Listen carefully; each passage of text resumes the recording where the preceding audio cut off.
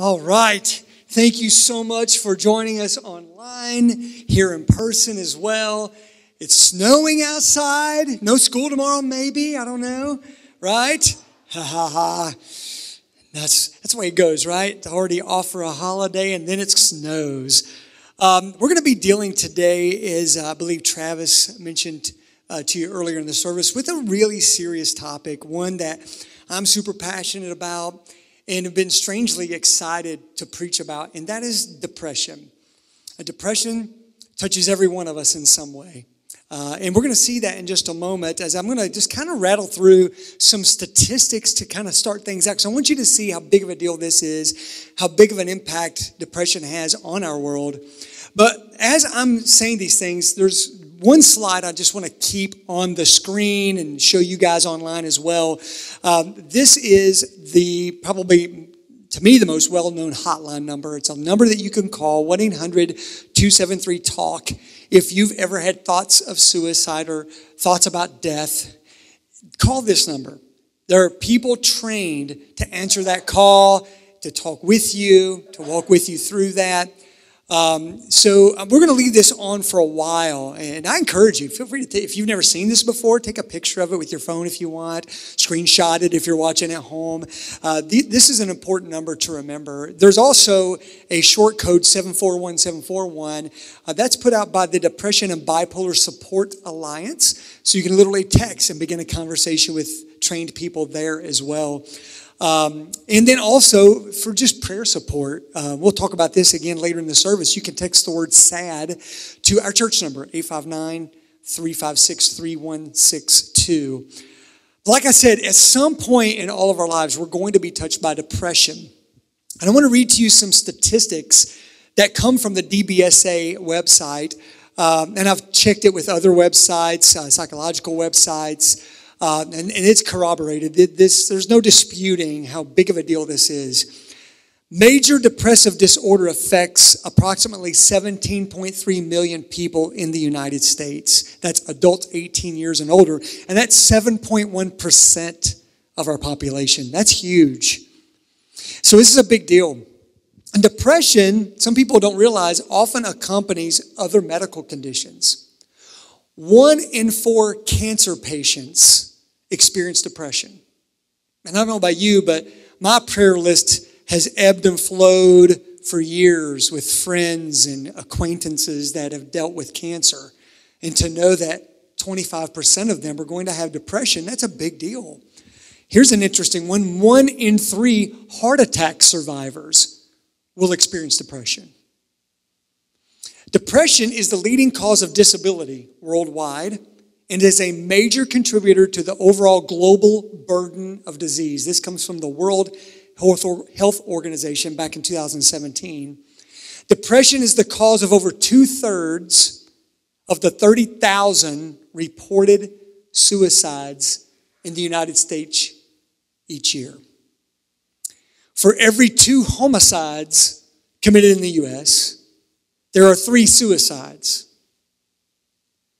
Up to, this is kind of good news. Up to 80% of those treated for depression show an improvement in their symptoms generally within four to six weeks of beginning treatment. 80% shows improvement. But despite its high treatment success rate, nearly two out of three people suffering with depression do not actively seek or receive proper treatment two out of three. So, in my, in my book, one of the biggest things we can do to really deal with this and start making headway against depression is to actually start taking away the stigma and actually doing something about it and encouraging uh, all of us in this room to know okay, this is a real thing. Uh, let's not ignore it. Let's not bury it. Let's not be ashamed of it. Let's deal with it together. I want to give you uh, a little sentence from the DBSA website that defines depression. I think it's really crucial to know what we're actually talking about. Depression is a serious but treatable medical condition that affects how a person feels, thinks, and acts. Though typically characterized by feelings of sadness, depression symptoms may appear as irritability or apathy. Tasks that seem to be easy before may take longer because of lack of concentration. Sometimes other illnesses or medications can cause or mimic symptoms of depression.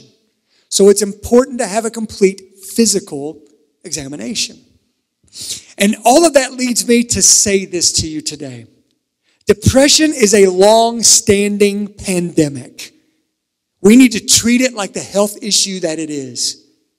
I don't know about you, but I have not used the word pandemic probably hardly ever, if ever, in my life till last year. And I've used it a bazillion times since then. But to know that depression has been around so much longer and it's so global and affects so many people. Worldwide, number one cause of disability is depression. I really want us to sort of rip away the stigma that it's just something broken within me. I don't know what it is, and I'm going to can keep it to myself and not tell other people. We need to start treating it like the health issue that it is. We don't leave physically open wounds untreated. Let's treat our open mental wounds as well. Because even those often point to, in many cases, physical issues. I've always felt like it was hypocritical for us to be okay with the lifelong diabetic, but not the lifelong depressed. Why would we treat one differently than the other? One must take insulin perhaps for entire life and, radically, uh, and regularly seek medical attention and speak to a physician. Why would we be treated to depressed person as different? Well, that, that, that's not something you should be doing. Why not? Once you come to understand there's a lot more going on that could be causing this, and it could actually be so physical.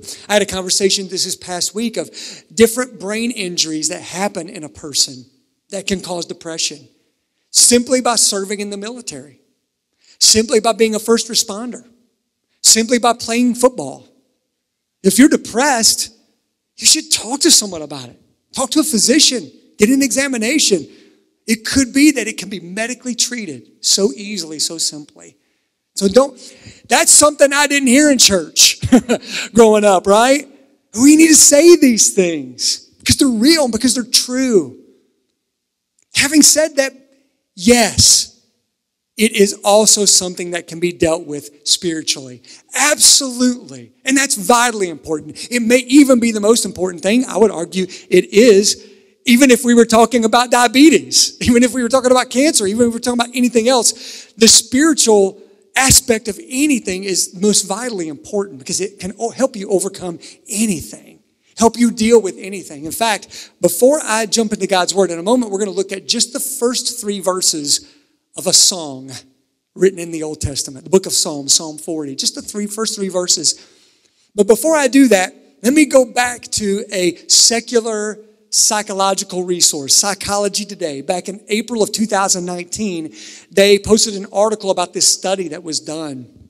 And it's very interesting. The study revealed only one in four adults diagnosed with depression who claimed religion was important to them were still depressed 10 years later.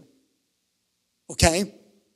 So, one in four who said, I value religion, were only one in four were still depressed.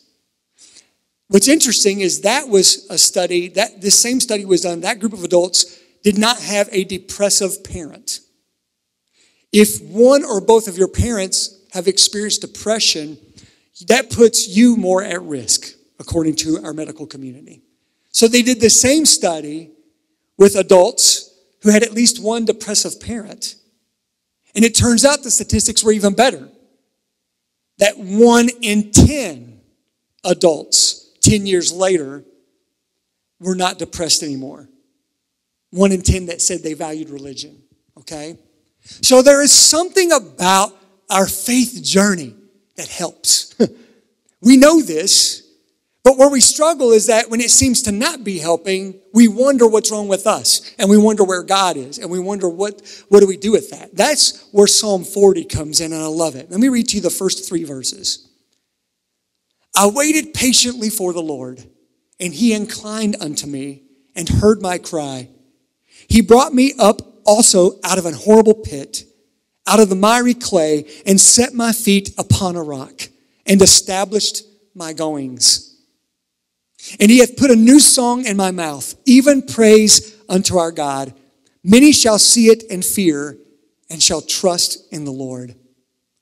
Now, I want to give you seven things in those three verses that help us to deal with depression. I'm going to rattle through them fairly quickly. The first one depression is like being stuck in a muddy pit. And it's a good work picture for us to remember. That, may not, that doesn't sound like the most inspirational part of that passage, does it? But what I love about it saying that is for those who've experienced depression, you see that and you're like, that's a good way to describe it right there. You're stuck. Uh, have you seen, I, have never been in uh, quicksand before, but I've watched a lot of TV. And whenever someone's in quicksand on TV, what is the worst thing to do? Yeah, move. start panic. Start wiggling a little bit. Like, oh, I'm gonna get out of here. You always hear the hero who apparently knows a lot about quicksand say, "Don't move. We will throw a rope to you and tie it to my horse or my Ford F 150 and pull you out. so it's kind of like that. Depression reminds us, and this word picture in Psalm 40 reminds us, we can't get out on our own. It's probably the most important truth we can put our wrap around our brains, especially for for some reason I believe we men who experience depression, we don't get this first point. We're in a miry pit. We're stuck and we need something outside of ourselves to help pull us out. Okay? Number 2, incredible patience is required to overcome depression. I put overcome in quotes, maybe deal with would be better. It requires patience. In the psalm, it says, I waited patiently for the Lord. The psalmist knew that it required patience. You know, there are instances where I've known of people that have been battling depression where they've seemingly experienced complete, immediate healing from that. And it's in the rearview mirror. It's not something they deal with very much anymore. That's a beautiful thing. But for others, it's a journey that's longer than that. And still for others, it's a lifelong journey. In 2 Corinthians 12, the Apostle Paul, who dare I say was probably a pretty holy man, who had a great walk with the Lord, God used him to write 13 of the 27 New Testament books. Pretty, pretty strong spiritual guy, right? In 2 Corinthians 12, he said that he had a thorn in his flesh. And the Bible never reveals what that was. A lot of scholars think it probably was some kind of physical ailment that he was experiencing, but we just don't know.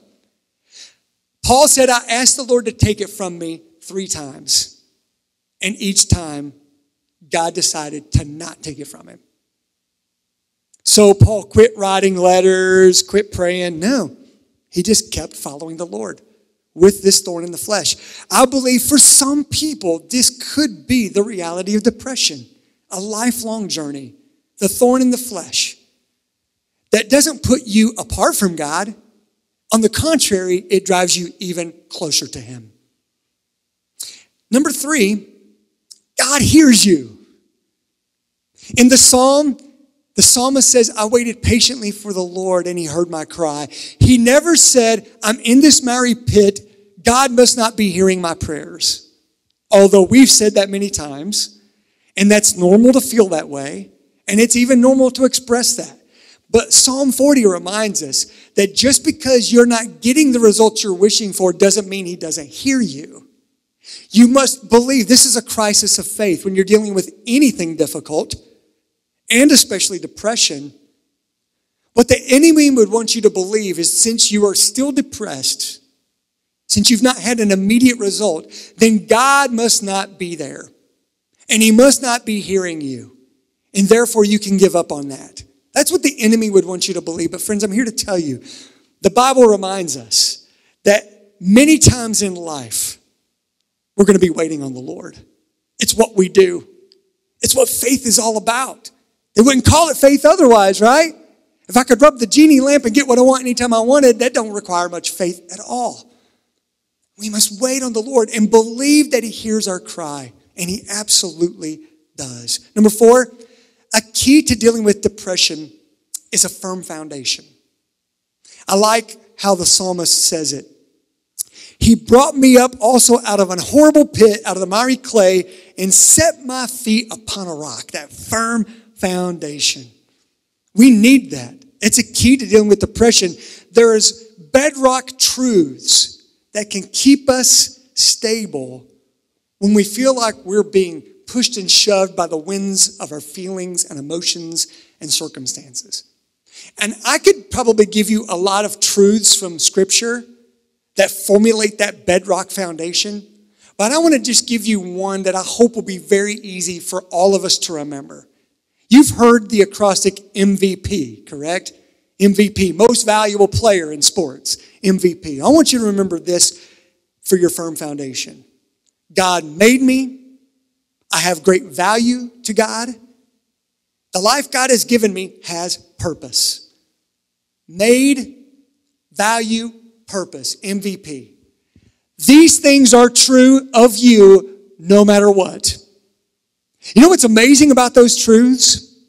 You could be watching or listening right now. You could be in this room right now, and you might be completely and utterly atheist. You don't even believe there is a God. And yet, these things are still true about you no matter what. Because truth is not dependent upon whether or not we believe it to be true or not. It is still true. You can walk out here and say, Gravity, I'm not thinking it's real. That's okay. You're not floating to the ceiling. Gravity exists. Even if you don't believe there is a God, even if you're trying to figure out what you really believe when it comes to spiritual things right now, I want to tell you right now you were made by God, He values you, and He has a purpose for your life. And if you begin to believe in Him, you will get to experience that amazing purpose in your life. All right, number five, a key to dealing with depression is having established goings. That's a direct quote from the King James Version of this passage I read. I love this. He set my feet upon a rock and established my goings. I'm going to start calling everything on my calendar my goings just to mess with people. Well, let me check out my goings today. It is what? I love that. That's what God wants to do. He wants to establish your goings. He wants to open up doors for you to move in a, in a direction that's going to help you get set outside of your own head and into the hearts of others and into the heart of God. This is the key to dealing with depression. When God establishes our goings, He has us go towards connecting with others in relationship, gathering like we are in worship today, probably gathering in smaller groups he wants us to not do life alone. He's going to lead you into interactions and relational opportunities that will help you get outside of yourself. But not only that, one of the best therapies for depression is to serve others. God will establish your goings and He will always lead you forward into the very mission of Jesus Christ Himself, who said, I came not to be served, but to serve others and to give my life as a ransom for many. One of the best ways for us to deal with depression and anxiety and all those things that want to put us in the miry pit is to actually go and give away our lives to others. We need to look for opportunities. We need to pray for opportunities to do that. And then we need to push through the doubt and the fear of doing that and do it and watch how it impacts you. Number six, if you are depressed, try finding your song to God. Try finding your song to God. Going back to Psalm 40, it says in verse 3 And he hath put a new song in my mouth, even praise unto our God. To be honest with you, I almost left this one out because it felt kind of weird, almost cheesy, but it's so true. Music is so powerful. And you know what? I was thinking about this today, how powerful music is. This is going to sound silly, but I can remember the songs I listened to during my breakup time with Sherry, who's my wife now. I can remember, I can't remember what I wore yesterday, but I can remember Billy Joel's Uptown Girl. I don't know why that song got me through that breakup. I don't know why. It was upbeat, it was cool. but I can remember that song so well, and I remember listening to it, and I remember it helping me. There are songs that have such powerful language. In fact, I believe music is created by God to express things that are deep within our soul that we can normally not express at all. And that's why when you're going through depression and anxiety and you're dealing with something, you need to watch what you're bringing in media, musically. Because I would, I would ask, is what you're bringing in speaking truth about what's real? Or is it actually throwing kerosene on the fires of your depression, making it worse? So that's one part of the equation. But I think also, like, find your song to God. These worship songs that we sing, man, we got, we're so blessed. Man, down where I grew up in Harlan County, we had AM radio, barely. one or two stations. You know, I can go to 93.3, 104.3, 90.1 at any given moment in this area and hear a song about God or to God. And as you listen, and I've heard so many people say this, like, oh my goodness, the Lord spoke to me. That song put into words what I'm feeling. And I needed to hear that. That song put into words what God has been trying to tell me, and I needed to hear that. There's something powerful about music you know, interestingly enough, David wrote, wrote most of the Psalms. Apparently, he was a great lyre player, harpist, if you will. And, you know, if you knew this or not, I'm pretty sure Saul, the first king of Israel, might have been bipolar. Saul actually hired David away from tending sheep for his dad to come be in the palace just to play music to calm Saul's spirit. It's biblical, friends. God wants to put a new song in your mouth and in your heart. And He will in time as you wait on Him and as you cry unto Him. All right, one last one, number seven. God wants to use your depression to point others to Him. I have never heard anybody say that before. It's probably been said, and I've missed it. I hope it has been. If you've never heard that before, I want you to let that soak in for a moment. It also, it kind of reveals the stigma we've put on depression. If uh, almost we didn't mean to, I don't think we meant to, but we did. We talk about how, you know what, that physical thing you're going through, that cancer diagnosis, that journey of rehab to get that, that torn ACL reconstructed, man, God's going to use that for His glory, blah, blah. But we don't say that enough about this, but it's so true. I think of my own dad's story and one of the biggest things that God used to bring my dad to faith in Jesus was him watching his mom, my mama, battle cancer. Horrifically. Throat cancer, part of her tongue removed, part of her throat, larynx removed, had to learn how to talk, swallow, eat again. It was very difficult. Trips to Vanderbilt University in Nashville. And we prayed and prayed, many thousands of people praying for my mama. If anybody was going to be healed miraculously immediately, it would be that saintly woman down there in Harlan County. And it didn't happen that way. It was a journey, a long journey. And eventually she was cancer free. But it was a long journey. But God used that journey. My dad, I remember him telling me, like, I watched mom still believe even as her body went through that. And that made a difference.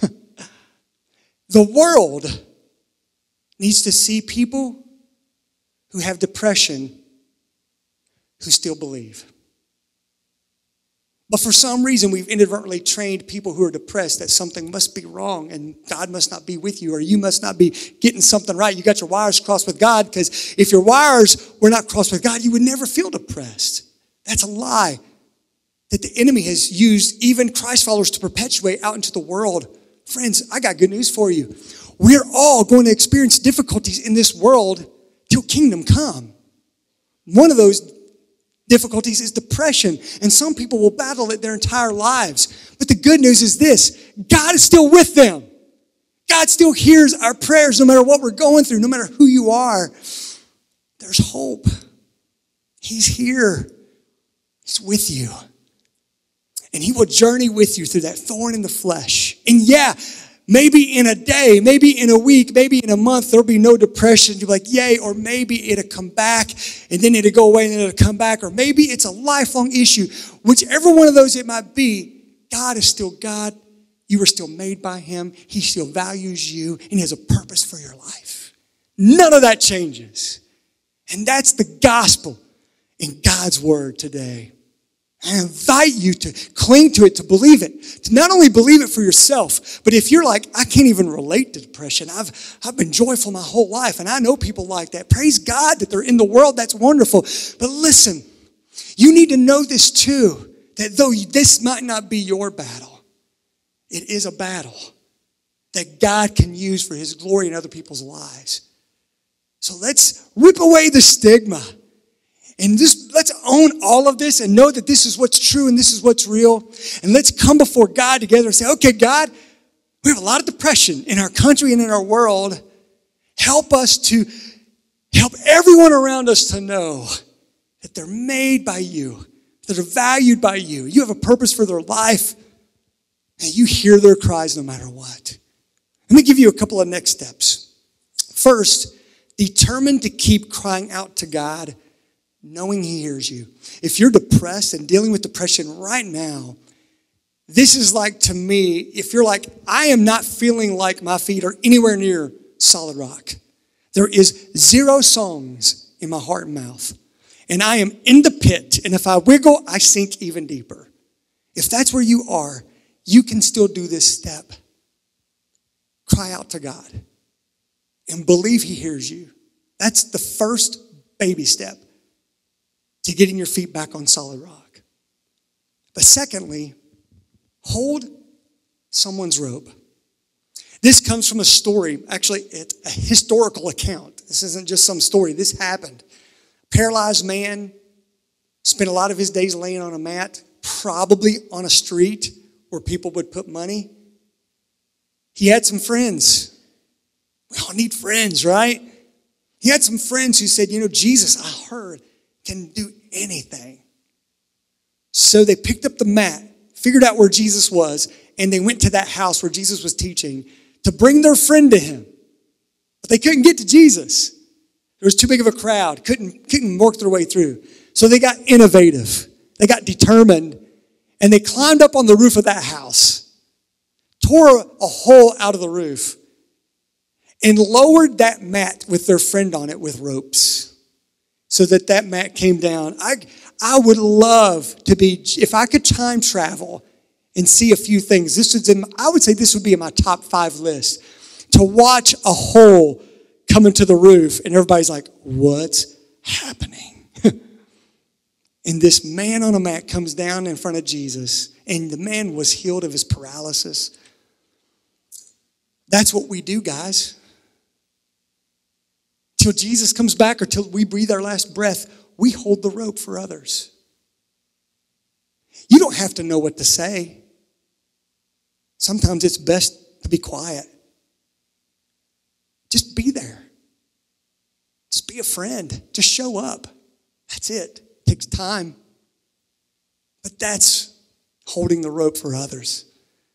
And that's how God could use you to help someone find their song to God. That's how someone could use you to give them hope that God still hears them.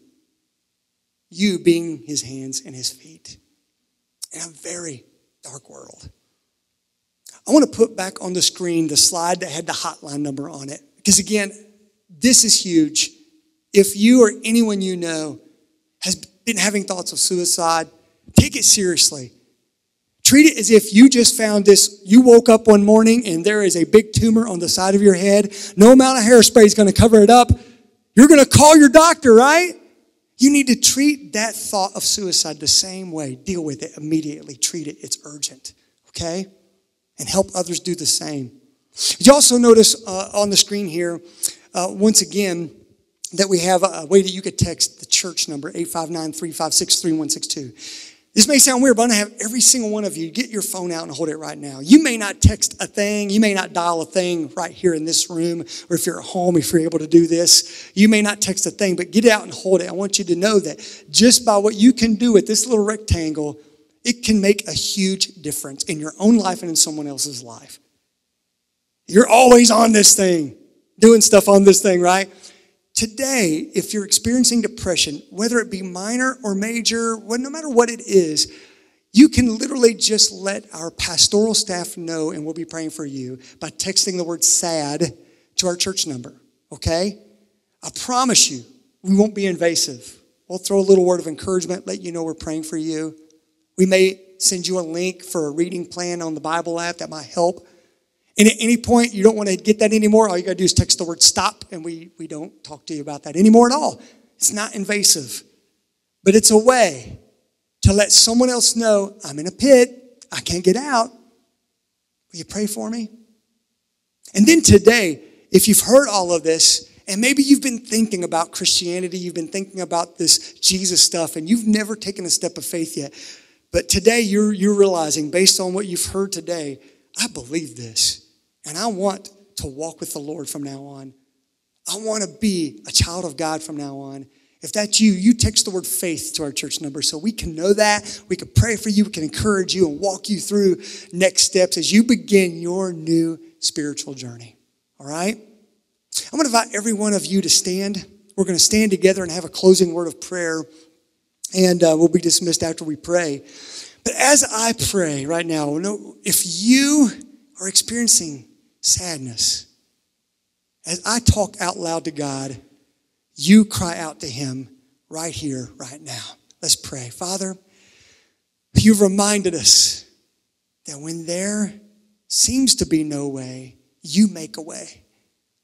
That, Father, you have the power to pull us up out of the miry pit and put our feet on solid rock and to put a new song in our heart and in our mouths.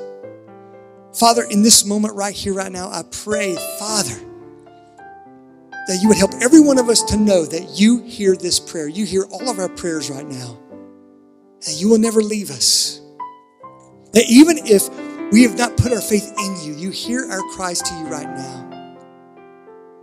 Father, I lift up to you those all over the world who are experiencing depression. Use us to hold the rope for them.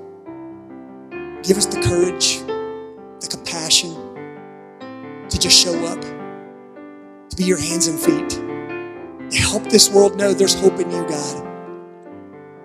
That they were made by you, that you love them, you value them, and you have a purpose for their lives, God. Lord, for those who might be watching, listening today, those in this room that are experiencing depression, and maybe they've been battling it a long time, help them to know that you are not going to waste that pain, that you're going to use it for your glory and to help someone else. Father, we cry out to you now. Thank you that by faith in you, we can now know that no matter what comes our way, no matter what our circumstances are, Father, that we are yours. You've got us. Thank you, Jesus. We prayed in your name. Amen.